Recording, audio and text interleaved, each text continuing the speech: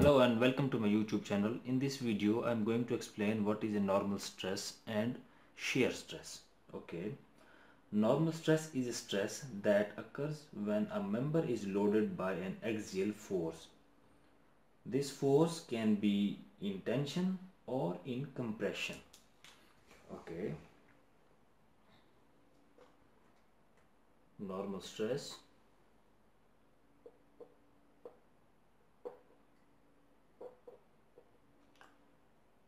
we have two members.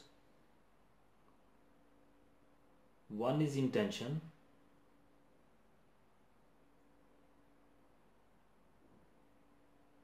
and the other is in compression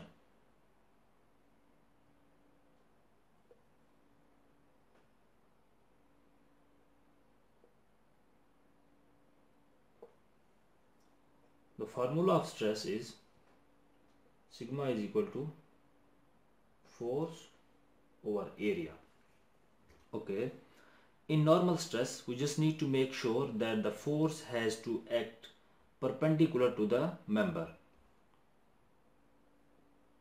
This force has to be perpendicular. This is perpendicular. Perpendicular to the axis. Okay. Now second one we have shear stress.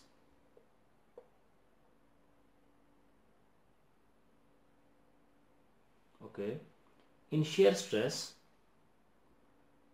the force acts parallel to the surface but in opposite direction.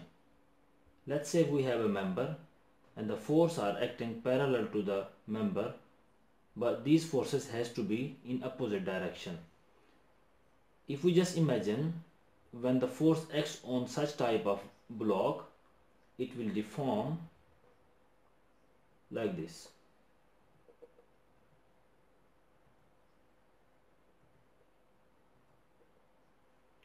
because the force is acting opposite direction and our member will deform member or any object will deform.